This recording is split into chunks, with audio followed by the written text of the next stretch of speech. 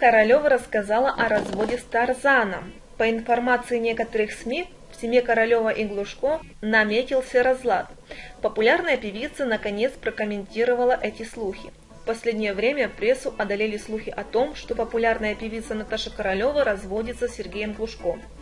По информации некоторых СМИ, разлад в семье произошел из-за богатой поклонницы Тарзана, которая преподнесла ему дорогостоящий подарок. Королева приревновала мужа к женщине, подарившей ему машину.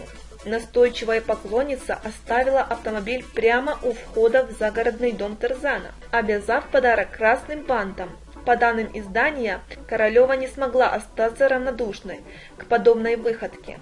Она устроила супругу скандал, а после в сердцах заявила, если так, я подаю на развод. Долгое время артистка отказывалась комментировать информацию по этому поводу. Однако все же не выдержала пересудов и раскрыла все карты. Ну что вы, это просто какой-то бред.